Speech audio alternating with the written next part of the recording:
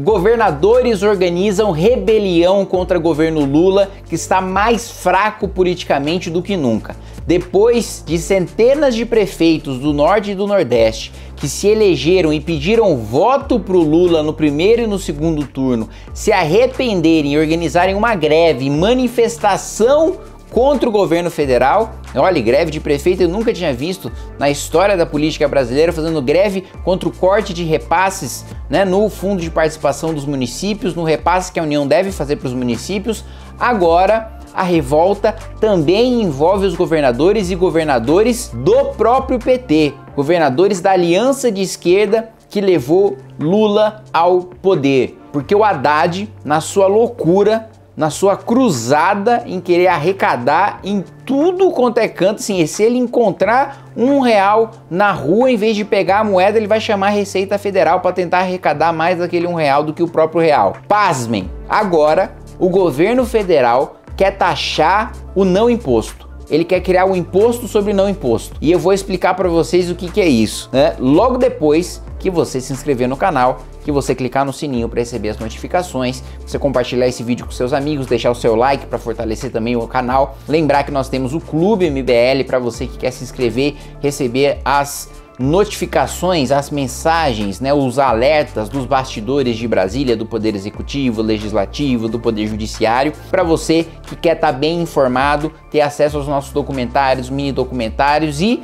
poder ser fundador também da nossa revista, a revista Valete, que está com uma excelente edição agora sobre segurança pública, uma edição especial para esse que é o principal problema que o nosso país enfrenta hoje. Muito bem, qual que é o projeto que o Haddad quer aprovar na Câmara dos Deputados com o apoio do Lula para tentar arrecadar a todo custo e cumprir a meta imaginária, a meta, né, insana que eles colocaram para cumprir, mas que nunca vai se cumprir porque foi baseado num cenário fantasioso que só existem nas vozes da cabeça do Haddad e do entorno de economistas malucos que o circundam. A ideia é basicamente tributar, cobrar imposto sobre renúncias fiscais de municípios e de estados. Ou seja, a cidade que quiser conceder um benefício tributário, cobrar menos imposto para uma empresa se estabelecer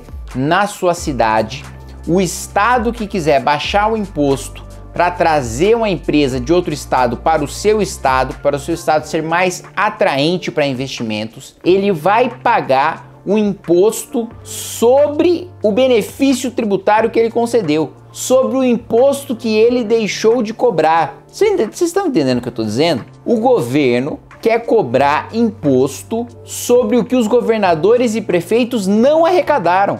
Lula e Haddad só estão levando essa proposta até agora, e eu não sei se vão desistir aí, porque a gente ainda tem mais umas duas semanas até que a proposta seja votada, mas só estão bancando esse desgaste até agora porque eles precisam desesperadamente de dinheiro, porque gastaram, gastaram, gastaram, gastaram o nosso dinheiro a dar com pau e agora não tem de onde tirar não cortaram de onde poderia cortar, podia cortar cargo comissionado, podia cortar super salário, podia cortar né, concurso público de servidor público federal que teve aumento de salário num momento de crise, quando ninguém está tendo aumento de salário na iniciativa privada, quando ninguém está tendo aumento de salário no trabalho informal, 40 milhões de trabalhadores na informalidade que não tem nem direito a aumento nenhum, que não tem direito nenhum, na verdade, porque está na completa informalidade e ilegalidade, e o governo aí baixando artificialmente o desemprego, contratando mais de 600 mil funcionários públicos que na realidade só tem seu salário sustentado se a gente tiver atividade econômica na iniciativa privada.